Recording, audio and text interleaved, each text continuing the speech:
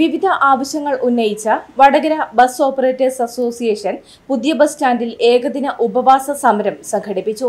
ഉപവാസ സമരം advocate E Narayanan Nair ഉദ്ഘാടനം ചെയ്തു. ചടങ്ങിൽ വേണു കക്കട്ടിൽ മുഖ്യ പ്രഭാഷണം നടത്തി.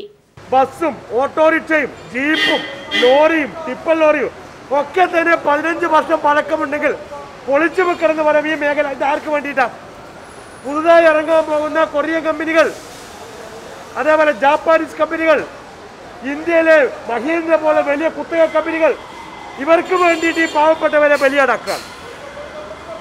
അതോടൊപ്പം നമുക്ക് പെട്രോളിയം ഉൽപ്പന്നങ്ങൾക്ക് ക്രമാതീതമായി വിലക്കയറ്റം ഉണ്ടായിരിക്കുന്നു. ആരാ ഇതിന്റെ ഉത്തരവാദി? ആരാണ് ഇതിന്റെ ഉത്തരവാദി? ഇന്ത്യ ഭരിച്ച യു പി എ സർക്കാർ. പെട്രോളിയം ഉൽപ്പന്നങ്ങളുടെ വില നിയന്ത്രിക്കാനുള്ള അധികാരം കുത്തകകൾക്ക് കൈമാറിയതോടെ യു പി എക്കാർക്ക് കൈകഴിവ് രക്ഷപ്പെടാൻ പറ്റില്ല കേട്ടോ.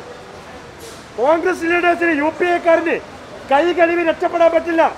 കാരണം ഇത്രയും വലിയ രൂപത്തിൽ ബി ജെ പിക്കാരന് ഈ നാട്ടിലെ ജനങ്ങളെ കുത്തിച്ചോർത്തി കൊടുക്കുക കോർപ്പറേറ്റുകൾക്ക് വേണ്ടി കുത്തിച്ചോർക്കാൻ അവകാശം ഉണ്ടായിക്കൊടുത്തത് യു പി എക്കാരനാണ് മൻമോഹൻ സിംഗ് രാജ്യം ഭരിക്കുമ്പോൾ ഈ രാജ്യത്തെ പെട്രോളിയം ഉൽപ്പന്നങ്ങളുടെ വില നിയന്ത്രണ അധികാരം എന്താ പൊതുമേഖലാ കമ്പനികളിൽ നിന്ന് എടുത്തു മാറ്റി.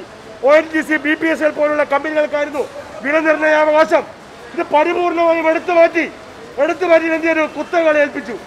അവരിഷ്ടം പോലെ വിലയായിരിക്കും നിങ്ങൾ മനസ്സിലാക്കുക പെട്രോളിയം ഉൽപ്പന്നങ്ങളുടെ വിലക്കയറ്റം. നിയന്ത്രണാധികാരം എടുത്തു കഴിഞ്ഞു. ഇതെന്ത് ചെയ്തു? വാജ്പേയി ഭരണത്തിൽ വന്നിട്ട് ചെയ്തു ഡീസലിനും കൂടി എടുത്തു കഴിഞ്ഞു. അപ്പൊ കോൺഗ്രസ്സുകാർക്ക് എന്താ പറയാൻ പറ്റുക? യു പി എക്കാർ എന്ത് പറയാൻ പറ്റും. എന്താ രാഹുൽ ഗാന്ധി മിണ്ടാത്തത്? എന്താ സോണിയ ഗാന്ധി മിണ്ടാത്തത്? ഇവരൊക്കെ ഇന്ന് ഉത്തരവാദികളാ. ഇപ്പൊ എന്താ? ഞങ്ങൾ കോൺഗ്രസിന്റെ നയസമീപനങ്ങളാ നടപ്പാക്കുന്നത്. എന്നാണ് ബി ജെ പിക്കാർ പറയുന്നത്. എന്റെ കോൺഗ്രസ് ഉണ്ടാൻ പറ്റുമോ?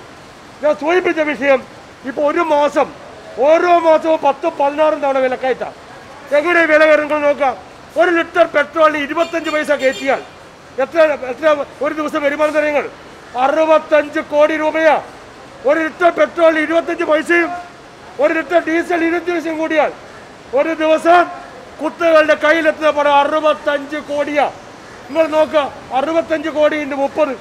നമ്മൾ ഈ വിഷം കയറുന്നവർ കയറിയല്ലേ ഓരോ ദിവസവും പതിനഞ്ച് പൈസ ഇരുപത്തഞ്ച് പൈസ മുപ്പത് പൈസ കയറിയപ്പോൾ നമ്മൾ വിചാരിക്കാം ചുരുങ്ങിയ പൈസയിലേക്ക് കയറുന്നില്ല പക്ഷേ ഒരു മാസം നിങ്ങൾ നോക്കുക ആയിരത്തി എണ്ണൂറ് രണ്ടായിരം കോടിയുടെ വർധനമാണ് അദാനിമാരുടെയും അംബാനിമാരുടെയും കൈകളിലേക്ക് ഒഴുകിയെത്തുന്നത് എന്നുള്ള യാഥാർത്ഥ്യം നാം മനസ്സിലാക്കണം. പരിപാടിയിൽ bus operators president Gopalan Nambiar secretary Vijayan vice president Praseed Babu executive member Sreejith വിവിധ രാഷ്ട്രീയ പാർട്ടി പ്രതിനിധികൾ എന്നിവർ സംസാരിച്ചു. ഡീസൽ ജി എസ് ടിയിലേക്ക് കൊണ്ടുവരിക കോവിഡ് കഴിയുന്നതുവരെ റോഡ് ടാക്സ് ഒഴിവാക്കുക കോവിഡ് കാലത്ത് രണ്ട് ലക്ഷം രൂപ പലിശരഹിത വായ്പ അനുവദിക്കുക തുടങ്ങിയ ആവശ്യങ്ങൾ ഉന്നയിച്ചാണ് ഉപവാസ സമരം സംഘടിപ്പിച്ചത്.